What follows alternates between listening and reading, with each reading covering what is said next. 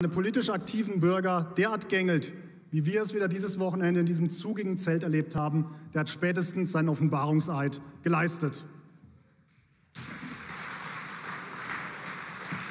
Bedanken, bedanken möchte ich mich erst einmal bei der Landesgeschäftsstelle und all den Freiwilligen, die jetzt auch wieder im Maschinenraum der AfD Bayern dafür gesorgt haben, dass wir uns aufrappeln, uns nicht kleinkriegen lassen oder in Selbstmitleid verfallen. Liebe Freunde, als ich vor über acht Jahren in die AfD eingetreten bin, war mir eins von Beginn an ganz klar. Wirklich aufhalten können wir uns nur noch selber. Geplant, geplant war das nie, dass ich seither durchgehend Verantwortung in Ämtern übernehme und nun seit dreieinhalb Jahren im Bundestag meinen Teil beitragen darf. Eigentlich wollte ich damals erst einmal ein Zeichen setzen als Mitglied gegen den Euro-Rettungswahn, gegen die Beliebigkeit der Altparteien und das sozialistische EU-Projekt. Aber wisst ihr, was mir ganz schnell dann gekommen ist? Zeichen setzen alleine reicht nicht. Nur damit kommen wir nicht gegen die Altparteien an. Und gerade, nämlich gerade die Linksgrünen, die haben eine politische Pipeline aufgebaut, vom Sumpf der Alt-68er über Wohlstandsträgheit und Weltfriedensrausch mit Zwischenstopp bei blanker Staatswirtschaft und Endstation im Vorstadthäuschen der doppelverdienenden, der doppelverdienenden Bessermenschen. Und das Angebot, das Angebot ist auch weitgehend gratis. Man muss nicht denken, nichts riskieren, solange man brav das schluckt, was nur herangepumpt wird. Und ihr wisst auch, ganz genau, wo die Fertigsuppe angerührt wird, in den politischen Top-Zirkeln von Linke, Grüne, Rest-SPD, deren kriminellen Vorfeldorganisationen und den meisten Medien. Diese politische Zwangsernährung, die wird auch angenommen. Von zu Hause aus zu den vermeintlich Guten gehören, Widerstand gegen dunkle Zeiten, quasi mit der Zeitmaschine und mit Gratismut nebenbei noch den Planeten retten und Afrika dann ja sowieso gleich mit.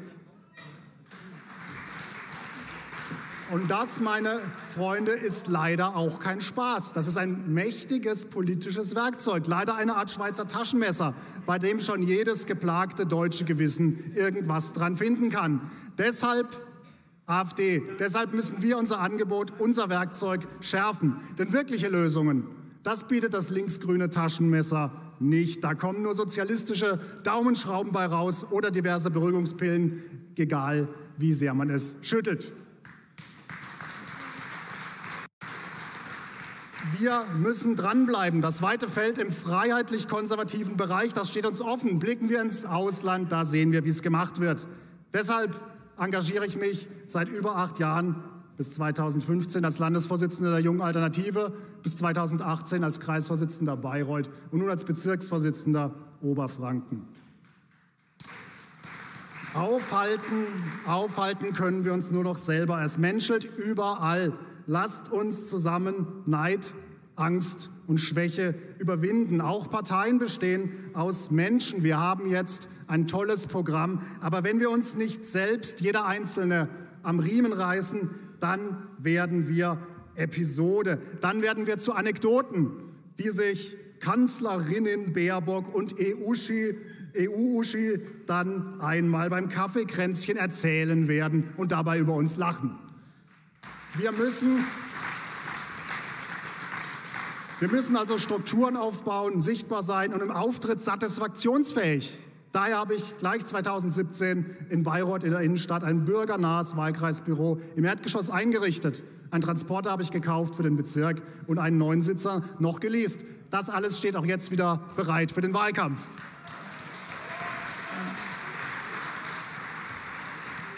Daneben liegen meine Mandatsträgerabgaben ca. 40 Prozent über dem Muss. Regelmäßig bin ich bei den Rechenschaftsberichten der Partei oben mit dabei und das mache ich auch gerne weiterhin. Das Projekt, das als nächstes kommt, bei dem ich gerne mithelfe, mithelfe, Aufbau des Hilfevereins für kommunale Mandatsträger. Denn eins sage ich ganz klar, nur Grüß August zu sein, das reicht nicht. Ein Mandat verpflichtet auch dazu, der Partei einen Mehrwert zu schaffen.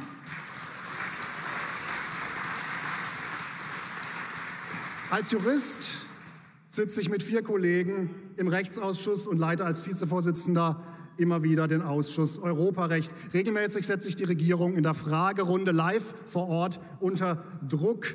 Ich liege bei den 114 Abgeordneten aus Bayern aller Parteien dort auf Platz 6. Bei den Gesetz Gesetzesinitiativen liege ich unter diesen 114 Abgeordneten auf Platz 2. Wichtige Wichtige Initiativen wie eine Drei-Taten- und Du bist raus-Regel im Strafrecht oder Bargeld ins Grundgesetz habe ich federführend ausgearbeitet. 2020 habe ich für eine Bürgerhotline zu den Grundrechten bei der Fraktion gesorgt. Sitze jetzt im Sonderausschuss Covid, habe zum EU-Upload-Filter geredet und den Antrag, den Bundestag auf 450 Plätze zu verkleinern, in der Fraktion durchgebracht.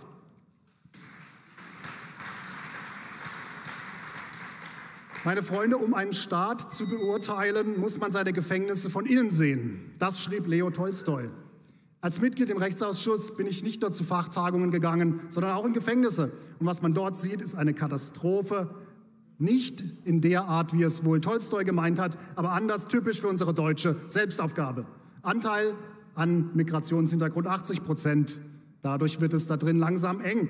Aber es kann eben nicht sein, was nicht sein darf. Weiter wird der Wohlfühlfaktor dort aufrechterhalten.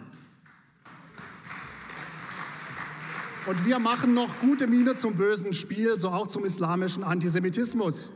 Als Mitglied der deutsch-israelischen Parlamentariergruppe war ich wiederholt auf Demos gegen Antisemitismus.